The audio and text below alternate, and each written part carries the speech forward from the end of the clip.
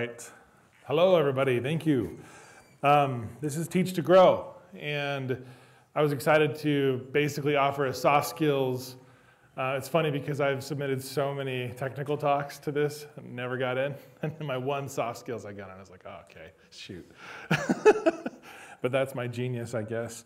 Um, I do come from, uh, I'm representing Lambda School. Uh, just real quick, Lambda School see, kind of, there we go. Our mission is to expand access to better incomes by aligning the incentives of the school and the student. We don't succeed unless they do. To give you some more detail on that, maybe you've seen the, uh, the signs on the freeway. Um, we are not a Utah startup, technically in San Francisco, but we have a lot of our education team in Utah. And it's really interesting in that the incentive alignment is if you don't get, actually get a job that pays $50,000 or more in tech, you don't pay tuition. And that lasts up into five years. If somehow you don't get a job in tech in those five years, it's gone, no debt. It's pretty cool. And there's no strings attached. It's just get a job and it's got to pay more. I always get the question, what if they made $49,999? and I, it's the same thing. Nope. If they made $49,999, they wouldn't pay a cent if they made that for five years. But we know in tech that this doesn't happen. So uh, it's really cool. It's a really great, gratifying job. And it really is a catalyst to a lot of the things that I'm going to talk about today in teaching to grow. So, what could teaching do for you? Why did you come to this presentation? Uh, what are you hoping to gain? Well, I think there's a lot to be gained on entry level. So, if you're just coming into the industry, uh, maybe you're coming from a boot camp or an undergrad or transferring from another um, topic. There is something there for you with teaching and being able to gain from these tools I'm going to introduce. Um, Mid level, so you've been in the industry, you're trying to level up and get better. Um, I, I think we just heard an amazing keynote with Scott talking about problem solving and not using syntax as a way to solve those problems, but looking at how we can actually talk to people and learn. That's exactly what this is pointed out with mid-level. And then our senior and management roles, oftentimes I've worked with senior developers and they've been like, I want to be a manager, I want to move into that next stage, or I want to be a lead, or I want to be a, um, a principal. What can I do to level up? And in my experience as a manager, these kinds of tools I'm going to talk about are part of that. So in all aspects, really, of everybody that's at this conference. And of course, this goes beyond developers, designers, and everything. But that's what I'm pointing at. So the first tool I want to talk about is empathy. And you might be going, okay, I know what empathy is, but I want to talk about a thing called actionable empathy. So the ability to put yourself in someone else's shoes and learn from it. So I think sometimes we look at these things and we go, okay, how do I put myself in somebody else's shoes? How do I actually do that um, without making things awkward or trying to uh, maybe try too hard to do these things? And so I want you to think about, we're going to go through some exercises, but there's a quote I want to talk about from Jake the dog. so sucking at something is the first thing to being sort of good at something. And I think we're also afraid to suck at something, and we're also afraid to like learn that we don't do it or we talk about it, we plan it, but we never do it. And so gaining empathy is about doing and not about thinking and planning and wringing our hands. So I want to talk about an exercise here where it's like, what would be difficult to learn? Like, I want you to think about what would be really hard for you to learn right now. Just think, like, is it something else? Is it another framework? Maybe you really love Vue and you don't want, you're scared to learn React. Um, like there's all sorts of different things that might be nervous to you. Maybe it's totally different field. So for me, I teach and have taught hundreds and hundreds of students at Lambda School. And I was trying to figure out how can I get the language so that they could understand me better because I was speaking over their heads. And I was trying to bridge the gap and try to figure out what is the thing that I'm missing. It was empathy. And so I thought, what could I do that would just scare the living daylights out of me? And to me, it was music. I'd never played, I played like hot cross buns on the recorder. Like that was my musical career. Um, and so the banjo, randomly, so random, Uh, there was a there was a guy in my neighborhood. He basically just wanted to play banjo with somebody else, so he would play his banjo, um, and he thought that, like, I don't know, I don't even know how this. It's kind of weird how this whole thing started, and he basically said, "Look, I will teach you the banjo for free if you don't miss a lesson." And I was like, "What? Well, how do you not miss a lesson? Like, what, what's my incentive there?" And so we set up some rules for the game of how to learn the banjo. And step one was learn with accountability. And so I basically had to make sure every week he would check back with me. And he said something that scared the crap out of me. He said, I will know if you didn't practice. I was like, oh my gosh, this is intense banjo. Um, and so he said he would know. And I was just like, oh my gosh, okay. And then the repercussion was I owed him $50 if, if he deemed me unworthy that week. so it was this really interesting, high stress uh, learning experience that I wanted to take on because I wanted my students to know about it. And so the interesting thing is, I exposed this learning to my students. So I went to my students and I said, I'm trying this really crazy, stupid thing. I'm learning the banjo. I don't even know. I'm going to play in front of you to show you how bad I am. So I'm going to show you how bad I was. Here we go. This is 17 seconds, so it won't be too bad on your ears. All right, Cripple Creek.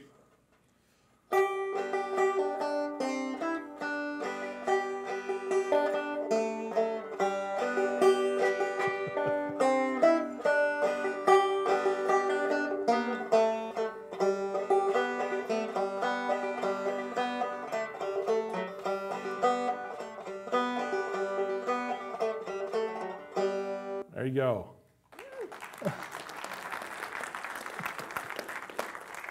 so that was one month into the experiment. I, I think that's pretty awesome. I mean, I'm, I definitely am biased. But um, after one month of trying so hard, that was like really cool. And I went to my students, and then something happened with the students where one of the students said, Hey, I play the banjo. That was okay. And I was like, oh my gosh, I never thought of other people playing the banjo and hearing me. but that empathy started to grow legs and it started to help me understand how I could start talking about var, let and const, closures, higher order functions, all these things that were just naturally occurring. And I had to stop and think about those banjo experiences. And so here's a video of the same song uh, a year ago, or a year after. Okay, we've got Cripple Creek on the banjo.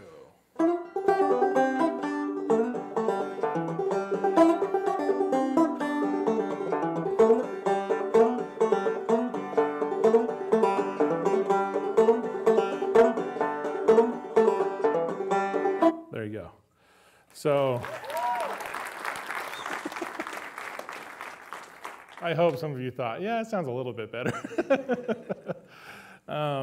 but the interesting thing is, in this empathy gain and this understanding, I started to change my brain and started to change my approach to not only my students but my environment because I had done something, um, you know, in my later in my life um, that was really hard and almost seemed impossible.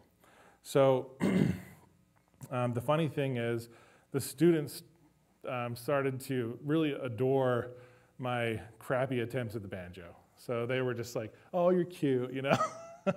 and I was, I was like, "Okay, I appreciate that. At least they don't hate it." I noticed that some students would just drop out of the Zoom uh, when I started playing banjo, and I was like, "Okay, I got to be careful when I do this." But some students were really inspired by this, and they saw my efforts as me showing them in a very real way that I cared about them, and they reciprocated that love via stickers. So um, they had a sticker made of me playing banjo.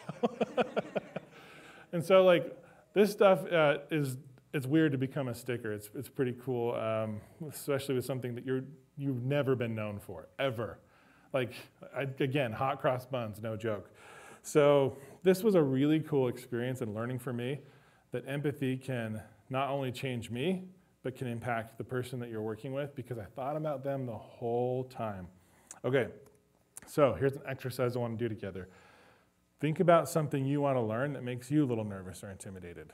Like right now, what is it? Is it a new framework? Is it a new language? Is it music? Is it something else that you have? Is it sports? Is it something you haven't thought about? Think about that for a second. What is it that really like freaks you out? This could be a really cool thing to level you up, like unknowingly, right? That's why you come to these conferences. So make it happen. I want you to plan and think about what could you do to do that? And so again, you might be entry, you might be mid, you might be senior, you might be a manager, you might be an owner. It doesn't matter. There's something new that scares you and it's going to push you. Maybe you've been sitting in that comfort zone too long, and it's time to change. So, this will help you no matter what in all those aspects to start building empathy so you can start teaching and mentoring and leading the people that you work with. Okay, so now that we've talked about empathy as a tool, how can we actually take the good ideas and the learnings that you've occurred and put them into some kind of instructional framework? This is where, as a teacher, I can provide some insight to you in a really light framework. Um, it's called, yeah, give structured ideas. It's called the I do, we do, you do learning loop. And so this seems like common sense. I love when things ring true. You're just like, oh yeah, this seems like no duh. I do, we do, you do. Okay, what does that mean? So I do, going back to the banjo example, is when I introduced you to what empathy was. I went over and I said, This is what empathy is, and I explained it to you. Then we went through a we do. So I had you sit down mentally and think about what would you do to change? What, what's something that scares you that you would want to do in the future? And then you do is the challenge to go and do it. That little loop helps so much in getting skills knocked out. So let's say that you're like, well, I have this idea, but I don't know how to get that idea transferred to the other person. That knowledge transfer is called pedagogy. And so when we go through that knowledge transfer and we actually can say over and over, this is how you do the thing, the IY loop, so IY loop, I do, we do, do, this thing can give you a tool to communicate your ideas very clearly and purposefully. So, as an instructor, this is something that has really changed the way I think in getting that information across. And so I want you to think about, oh, wow, okay, what can I do with this? What idea can I transfer? This could be as simple as a piece of code, a concept, um, onboarding a new person in your company. All these things can be applied to a skill, and we use this loop over and over. So I do, again, let's, let's go over this again. I do allows you to say, this is what the thing is. But so many people stop there right? And in fact, a lot of untrained and maybe senior developers do this. They're like, this is how you do it, duh, right? There's no empathy, there's no learning, there's no understanding of like what's next. So we do forces you to think about, okay, I've got to get some substructure in place so this can be successful. And then the you do, of course, is the challenge. But if you don't give the challenge, then it just sits there and it, it just, it's kind of like what Scott was talking about that like if you don't build the app, if you don't do the thing, it just dies. And so with I do, we do, you do, you're now having a small structure. Again, this isn't like crazy pedagogical deep stuff. This is just like a simple process to get you there. So once you've got an idea in place, you've got to retain that knowledge so it keeps being exciting, spaced repetition, you keep learning. So Richard Feynman, he says, I learned very early the difference between knowing the name of something and knowing something. This happens a lot in programming and tech, right? It's like there's the buzzwords. Emotional intelligence is super hot right now. Um, going through and just, yeah, I know React or MobX or uh, Redux, like you start to say all the words, but do you know what those things are? And that's the challenge. Like, can you dig deeper? And so, one way to know for yourself is using the Feynman technique. So, number one, write the concept or objective down on a piece of paper or notepad, whatever you want. But writing it down has a lot of power because it takes it out of your mind.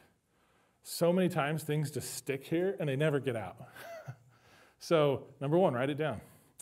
Number two, uh, write down an explanation of the concept in its ba- most basic form. So, here's where it gets really interesting. Pretend you're teaching this concept to a child or new learner.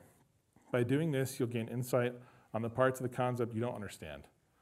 This is tough. This is where I operate in my everyday life at Lambda School, is because we're taking people off the digital street, because we're all remote, and we're trying to take them from zero to hireable. And it's, it's rough, especially as like 10 years ago, it was so easy, like HTML, CSS, and ActionScript is like all you needed. and now the amount of work that you need to do to get an entry level job is exponentially harder. And you have to do so much more. And some of you might have come from that jQuery age and you're still resisting. You know, you're still like, I'm not going into React.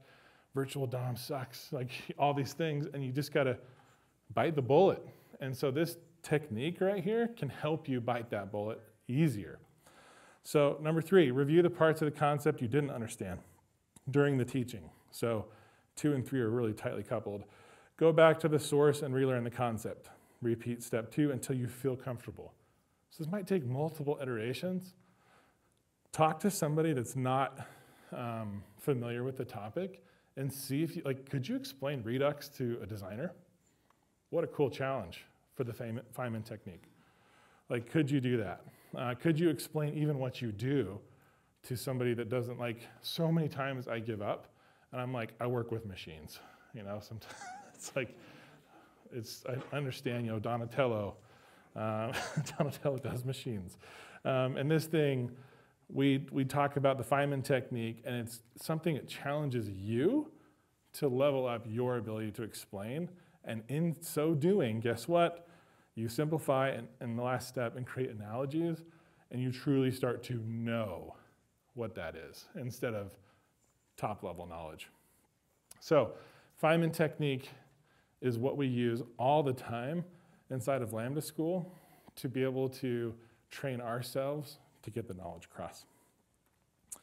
Okay, so this leads to mentorship. And mentorship is basically a combination of empathy. And now you have an instructional framework, a light one, with the IOI loop. You now have the Feynman technique. You have all these tools now that you could start looking at mentorship. So I want to challenge you to find someone to mentor or teach. So the reason I even got in technology is because I got lucky and found a mentor along the way. Um, I was doing an undergrad in digital technology at UVU, and I, I was so lost at that time. I wanted to be a pilot. I wanted to be a draftsman. I wanted to be a psychologist. I was like, I wanted to be a lot of things. Um, and I was taking all these smatterings of classes. And I took this one class. I still remember it was, it was um, ActionScript. It was Flash. And the class was all about building a video game. And I was like, this is dope. I want to I want to build a video game. And I remember I built a game I, for disc golf. I don't know if you've heard of disc golf before, but it's awesome. And so I made this disc golf game where it was like a hit test object and you would throw the thing. And the instructor called me out and was like, This is really good. Like, you actually have a future in this. This is something that you should explore. Can we talk after class?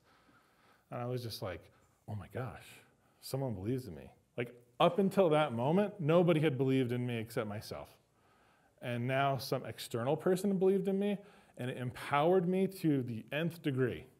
And so then, after that empowerment, I worked with that instructor. He eventually hired me and took my career to the next level. And that was one person. Like, I will forever be grateful to that person. And that person did not do that to get gain. Like, he was literally only trying to help and uplift the community. And so I want you to be that one person for the future, whatever, right? Maybe you didn't have that opportunity. Or maybe right now you're waxing nostalgic about your mentor, which is, which is awesome. But we start to build this pedigree of mentor. Like all these people start to become part of your tree, your family tree of mentorship, and you start to build this organic community under you. And I know I've done that. Um, I've got people in this room that are in my family tree uh, in both ways. And it's just so empowering to have that community built on training, empathy, trust. It's awesome. Can't, can't lose. So that's what I wanted to talk about. Thank you for your time, everybody. Uh, it's been awesome.